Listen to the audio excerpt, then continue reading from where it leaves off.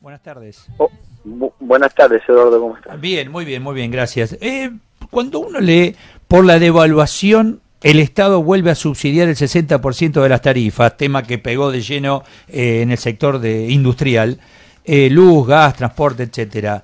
Sí, pagamos doble, como todo, Martín. Pagamos más para ahorrar, aparentemente, o para, para, para ajustar desde el Estado, y, y ahora nuevamente subsidiamos. Bueno, justamente es para que el, valor en dólares que tiene el costo de, la energía en boca de pozo, sobre todo el gas, no vaya al sector industrial. Pero sí. pero, ¿quién lo, ¿Pero quién lo paga, Martín? Todos. El subsidio se paga entre todos, ¿no? Bueno, exactamente, como pasaba antes. El subsidio de energía que existía y la tarifa social era algo que se repartía entre toda la sociedad. Mm. Lo que pasa es que con el impacto que ha tenido la de evaluación, eh, quizás esto hacía de que pasara directamente a precio y podía tener un golpe inflacionario, ¿no? Con estas evaluaciones en general las tarifas, por lo menos por un determinado tiempo, seis, ocho meses, un año, mm. se van reacomodando en la medida que la economía lo permita. Mm. yo, a ver, lo que voy es lo siguiente, digo, se avanzó este, en un proyecto económico para ajustar y gastar menos de lo que entra, eh, eso nos llevó a la devaluación y la devaluación nos lleva a volver a subsidiar. Digo, es como que en algo te equivocaste. No, bueno, lo que pasa es que eh, en realidad, Eduardo, cuando vos tenés una economía eh, que no era sustentable, cuando vos querés reacomodar hay muchas variables que inciden. O sea, mm eh, en realidad las tarifas estaban totalmente retrasadas. Sí, en algún momento, en algún momento se quisieron reajustar. Cuando vos tenés otro salto cambiario, tenés también la dificultad para volver a reajustar. Eh, este es el problema de, todo este reacomodamiento que esperemos que en algún momento eh, se pare y empecemos a, a que, las variables sean más estables, porque si no es imposible, ¿no? Ahora, pero si te está escuchando hoy un, no sé, un jubilado, ¿no? Y escucha esto, dice, y yo tengo que subsidiar al industrial, por ejemplo, con el tema tarifas. Y lo que pasa es que es sistémico, Eduardo, también. Ah. O sea, si, si vos realmente, a ver, si vos al industrial le pasás en dólares toda la energía, después a ese jubilado también le van a costar el doble los productos, sí. porque va, va a impactar en inflación. Entonces, eh, o sea, en general esa es la lógica, tratar de que la inflación no se dispare eh, en función de esta devaluación. Eh, igual creo que en algún momento, con el tiempo, se tiene que ir reacomodando las tarifas y se tiene que ir reacomodando todas las variables para que, para que también el Estado se saque de encima estos costos, ¿no? Eh, eh, está bajando la, la, la, mercadería, el trabajo, bajando en cuanto a precio, ¿no? El dólar ahí se clavó en 37, 36, ahí estamos. Hay listas de 42 pesos con el dólar cuando estaba 42 o 40. ¿Bajó eh, la, mercadería, el servicio, tus proveedores? ¿Se modificaron listas hacia abajo?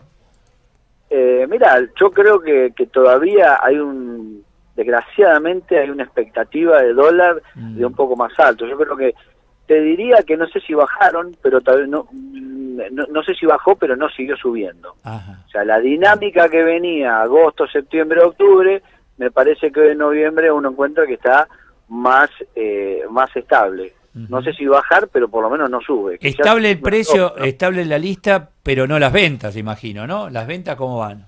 Y las ventas están, están, están caídas, ¿no? Sobre todo hay sectores eh, desgraciadamente el 65% de los sectores están con una caída importante, ¿no?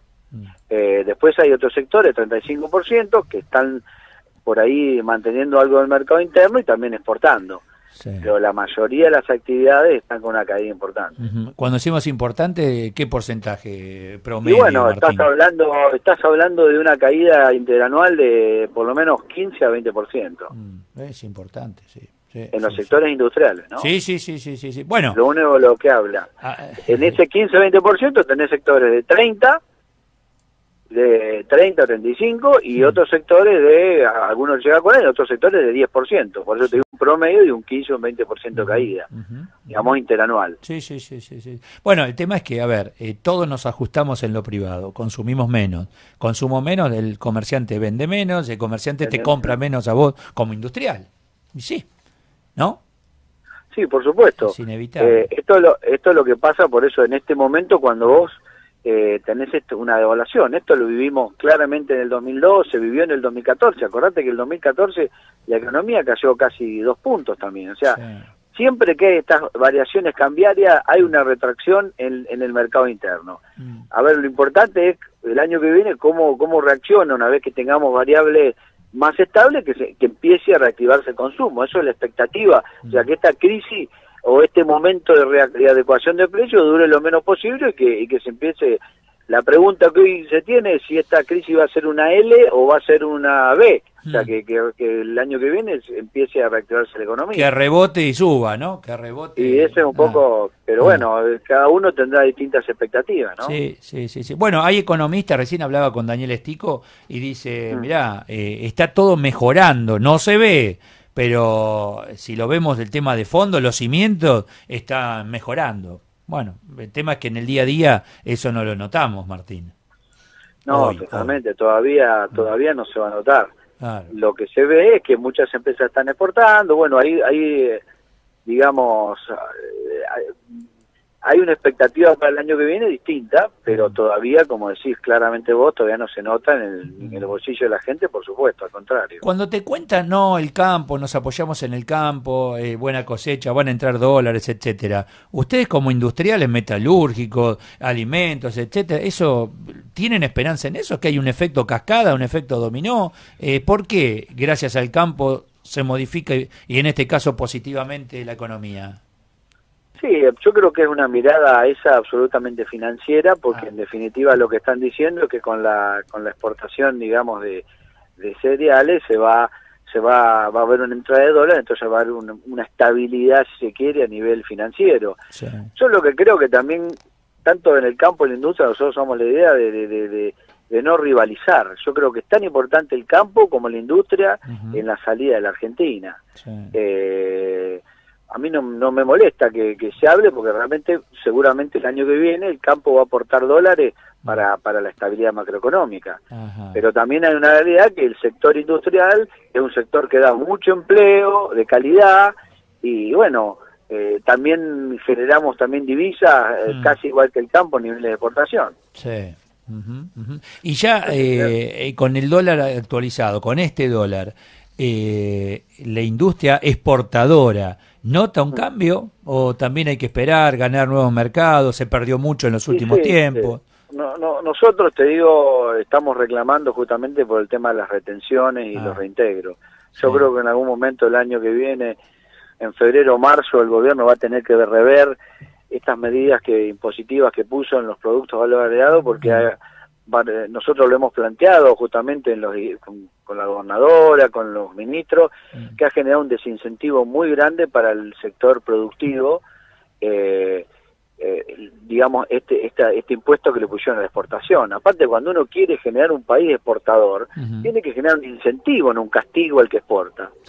Así que, si bien está creciendo la exportación, yo creo que si si no tuviera este impuesto crecería mucho más rápido de lo que está creciendo hoy, ¿no? Bueno, o sea, ¿usted eh, siente que los han castigado entonces?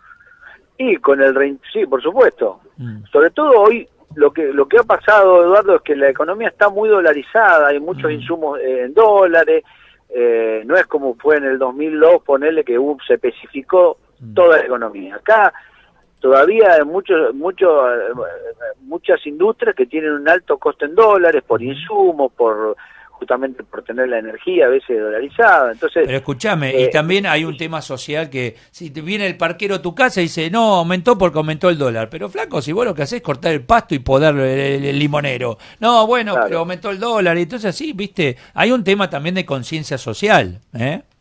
Sí, seguro, seguro. Ah, ¿Viste? Porque eh, todo, todo el dólar, todo el dólar. Cuando sube el dólar, sube todo. Cuando baja el dólar, sube todo. O por lo menos no, no, no baja, ¿no? Como decís vos. Totalmente. ¿Eh? Pero yo creo que eh, realmente la Argentina tiene que ir a un país que, que, que, mire la exportación como, como generador de dólares para tener una estabilidad. Claro. ¿no? Que sea una estabilidad sustentable en eh, generación de recursos genuinos a través de la exportación de productos industriales y del campo, eh, y no a través de deuda. Ese es el gran desafío que tenemos para mí para los próximos años, ¿no? Construir una economía sustentable y tratar de bajar la inflación. Pero eso lo vamos a hacer produciendo más, trabajando más. Eso es lo que creo que hay que entender, ¿no? Por eso que hay que incentivar la exportación, no castigarla de alguna manera con este... Aparte, eh, cuatro pesos, ¿no? ¿Cuatro pesos? Claro, cuatro pesos al campo y tres pesos al eh, sector industrial. Muy bien, pero con el dólar a 42. O sea, bajó el dólar y seguís teniendo los tres pesos. Por eso y los cuatro. o sea, es, es casi tres pesos, un dólar de 35, claro. es un 8%, más los reintegros que se sacaron, porque hubo una normalmente en, en los productos industriales uno tenía entre un 4 y 0% de reintegro, que era mm. una devolución de impuestos. O sea, los impuestos internos que vos tenías en el proceso de la cadena de valor, mm. te los devolvían. Mm. Y en muchos casos hubo una reducción de entre el 60 y 70%, o sea que bajaron al 1, 1,5. Entonces, si vos sumás la reducción de reintegro más eh, la retención, estás en un sobrecosto de un 12%, que para muchos sectores eh, era la ganancia que tenían. Entonces, no le genera el incentivo de exportación, ¿no? Un abrazo grande, Martín, gracias. Abrazo, abrazo, Eduardo. Gracias. Eh. Martín Rapalini es presidente de la Unión Industrial en la provincia de Buenos Aires.